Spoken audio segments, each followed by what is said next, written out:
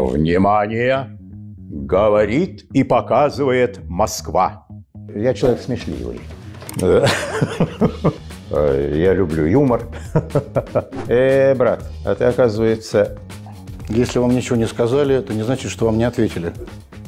непонятно. Во мне умер лирический герой. У меня непростая судьба.